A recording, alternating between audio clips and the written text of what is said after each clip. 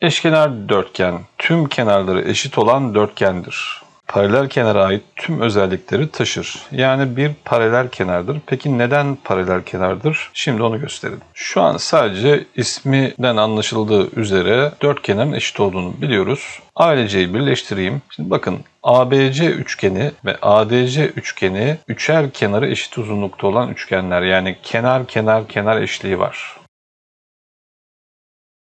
Dolayısıyla şuralara nokta nokta diyorum. Yani ikiz açılarımız nokta nokta aynı üçgen olduğu için bu da nokta nokta.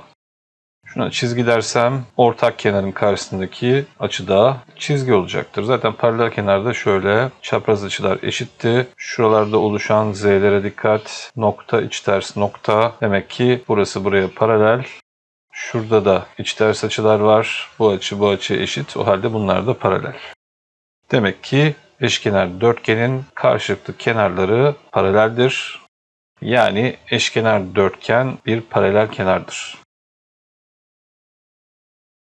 Eşkenar dörtgende köşegenlerin açıortay olduğu ve birbirini dik kestikleri gösteriliyor. Aslında biraz önceki ispatta biz mesela şu açıortayı göstermiş olduk. Eğer B ile D'yi birleştirseydik bunun da açıortay olduğunu göstermiş olabilirdik. Yani bir kısmını göstermiş olduk. Daha doğrusu buradan biz sadece paralel kenarlığı ispatladığımızı kabul ederek devam edelim. Sadece eşkenar dörtgen olduğunu biliyoruz. Açıortayları bilmiyoruz. Şimdi bunları atalım. Elimizde eşkenar dörtgen ve köşegenler var. Paralel kenar olduğunu ispatlamıştık biraz önce ve paralel kenarlarda köşegenlerin birbirini ortaladığını da daha önce ispatlamıştık. Bunu kullanalım. O halde şurası şuraya eşit, burası da buraya eşit. Kesişim noktasına da K diyorum. Şimdi ADC üçgenine bakalım. AD DC eşit bir ikiz kenar ve bakın kenar ortaya çizilmiş. Bu ikizkenar özelliklerinden hem yüksekliktir hem de açıortaydır. ABC üçgeni zaten ADC üçgeni eş olan bir üçgen. Aynı şekilde hem açıortay hem yükseklik. Aynı durum bakın ABD üçgeninde de söz konusu. AK kenar ortay ikizkenarda yani AK aynı zamanda açıortay. ABD üçgeni ile CBD üçgeninde kenar kenar kenardan eş üçgenler. Aynen burası da nokta ve nokta olur. Yani köşegenlerin açıortay olduğunu ve dik kesiştiklerini bu şekilde ispatlamış olduk.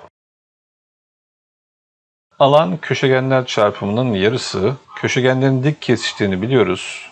Herhangi bir dörtgende köşegenlere bağlı sinüslü alan formülünü biliyoruz. Köşegenler çarpımı çarpı sinüs alfa Bölü 2 idi bunu ispatlamıştık. Fakat alfa 90 derece olduğu için sinüs alfa da 1 olacaktır. Yani alan köşegenler çarpımının yarısı olur.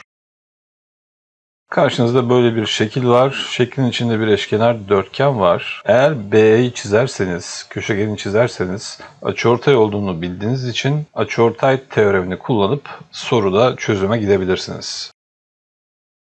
Eşkenar dörtgenli bir soruda köşegenlerin kesişiminden inilen bir dik görürseniz biliyoruz ki köşegenler dik kesişiyor ve bunu buraya koyduğumuzda öklit bağıntılarıyla sonuca gidilebilir.